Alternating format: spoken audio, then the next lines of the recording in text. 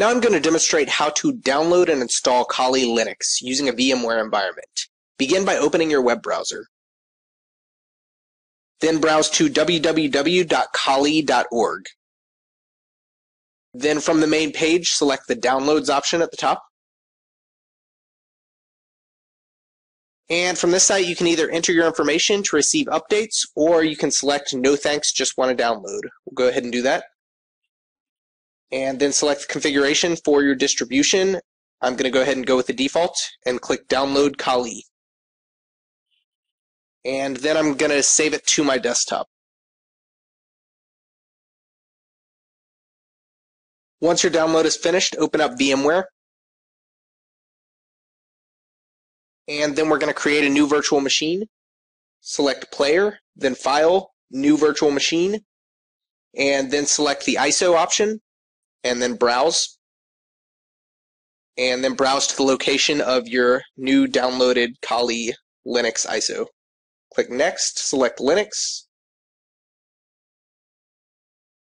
Then Next. Then enter your virtual machine name. Then Next, select your disk options. And then Finish. Then double-click on your virtual machine to start running.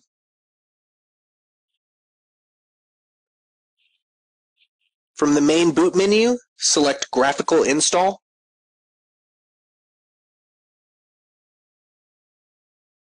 Then select your language, your location, and your keyboard layout. As you can see, most of the installation process is pretty self-explanatory.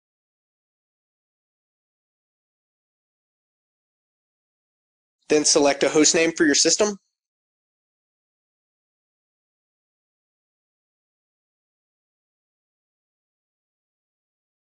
And we'll leave the domain name blank since I'm not adding it to a domain.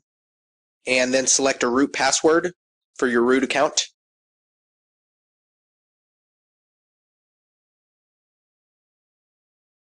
And then select a time zone for your clock.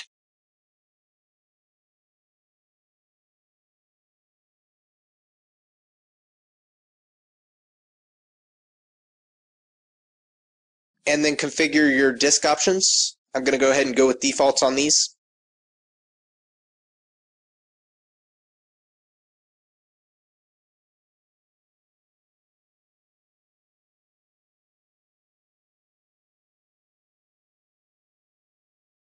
And then continue.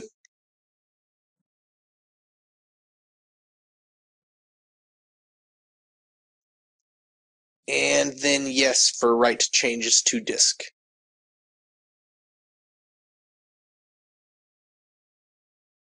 Once the installation process is completed, it'll reboot to this screen. Select the first option. And then you get your login screen. Because the root user won't show up on your login screen, you'll have to select Other, and then enter your username as root.